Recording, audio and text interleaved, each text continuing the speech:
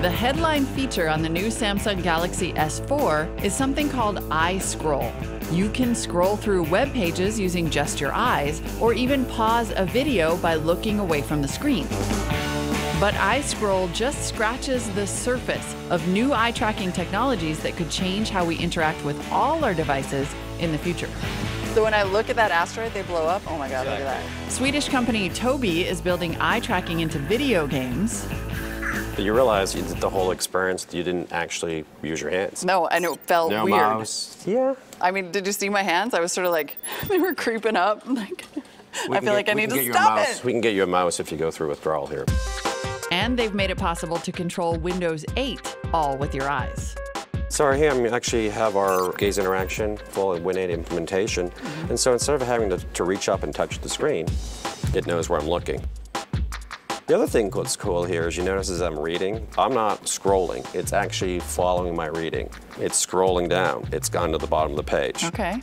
I'm selecting the calculator with my eyes, and I'm actually going to run the calculator. Again, I'm just going to tap to say select, Right. but I'm actually not going to say eight or nine. I'm not going to press the eight or nine key. Wow. Pretty amazing, right? Okay, you know what? I'm, I have to say, I'm starting, pardon the pun, I'm starting to see it. Like, I'm starting to get the idea It's of how this would be super useful and natural. Yeah. Then there's Virginia based LC Technologies. This is their eye gaze edge. The idea here is that you basically type with your eyes. The computer translates the words on the screen into synthesized speech. Hello, how's it going? The eyes can point very precisely, so if we can get camera technology that can harness that, um, then we can then turn that into, say, the, essentially the same thing as a mouse on the screen. Hello. I asked one of our producers to Skype with Jeff Kanata to give it a try. Hey, how's it going? It's going well. It's a lovely day, a lovely spring day here in Los Angeles. So, how's the weather there? Lucky. Well, that's San Francisco for you. It's sunny, sunny here. So, you were typing with your eyes. What is that like? My eyes are a little bit fatigued, but I think over time you'd get pretty used to it and you get stronger. But it just goes to show you how cool things are getting now. Like I can just look at your picture on the screen and hover over you right now like this, and I can hang up on you with my eyes.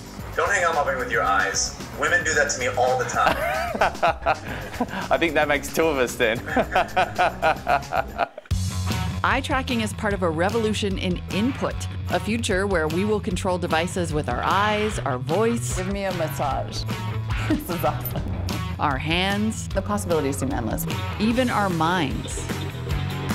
I am exhausted.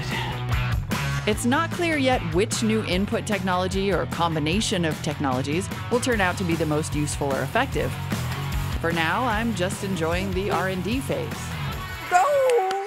Do you want to have like an asteroid showdown? I'd love to. Shoot asteroids by looking at them. I love the future. Here we go. Okay, I got that one. The duel is on. No, no, no, no, no, no, no, no, no. I looked right at you.